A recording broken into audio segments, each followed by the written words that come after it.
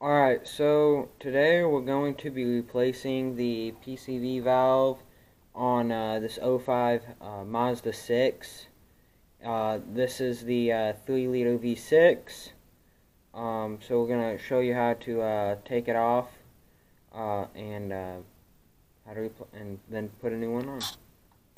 Alright, so um, we already have the plenum off. you a lot of people say that you don't have to take it off to replace it because the PCV valve is right here.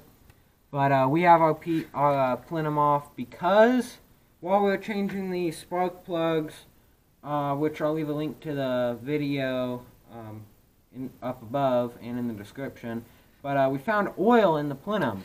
And uh, some signs that were experienced that we had were signifying a bad PCV valve.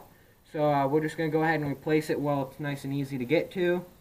So what will happen is you'll have this hose here. Um, and there'll be a little green tab on this side that you will just that you'll push this way. When you do, you can wiggle the hose back and forth and pull up. And then the hose will pop off and you'll be left with that.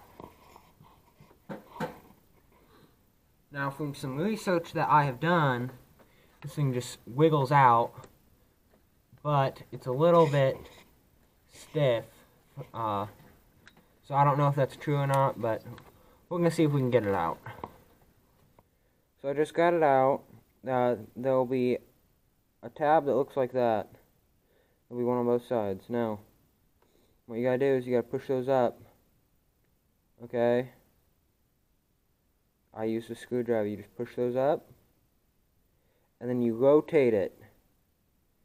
You turn it to the left. So you turn it that way. Now, it only twists in there so far. It, I, you only turn it probably halfway, and then you can pull it out. Um, it's relatively easy. But it's obvious that this one's broken because it's the inside is rattly like crazy, so uh, sounds like a spray paint can. Um, but uh, so we're gonna get a new one. We're gonna put it in there. Alright guys, so I just went and picked up the new PCV valve. Um, they do supposedly sell two different uh, types of PCV valve for this uh, specific uh, 3 liter V6 and uh, so make sure you get the right one because they are uh, completely different. And uh, the other one just will not work uh, for this one uh, from what I found. So now now what I'm gonna do is I'm just gonna take it. Come back here to where the hole is. I'll go this way so you guys can see what I'm doing. I'll stick it in here. And remember since it since it spins you want to make sure you twist it in the right way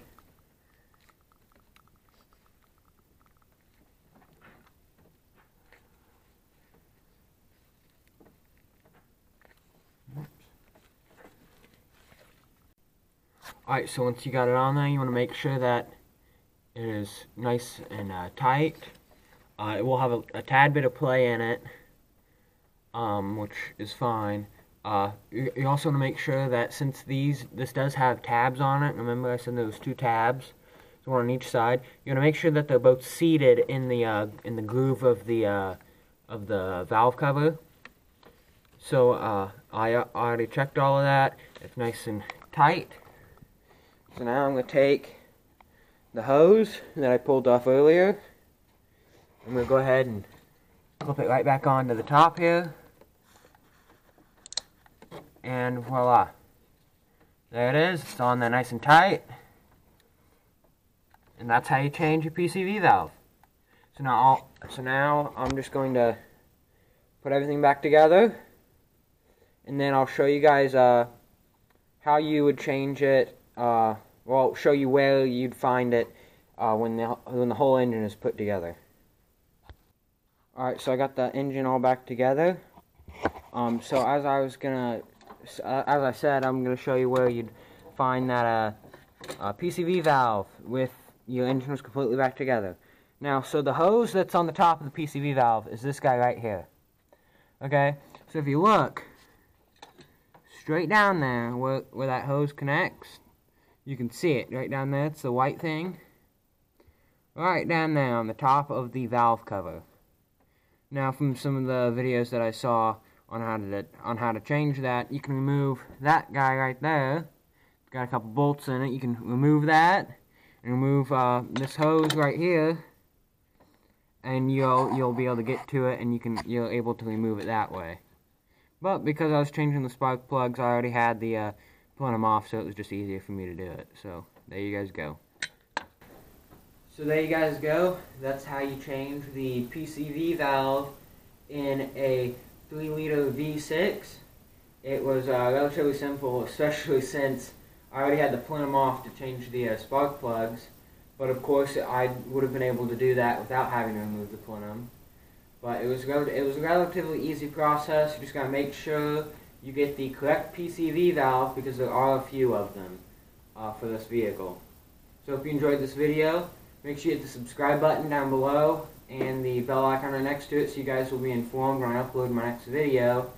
And don't forget to go and follow me on Instagram at Drive and Strive if you guys want to be informed before YouTube.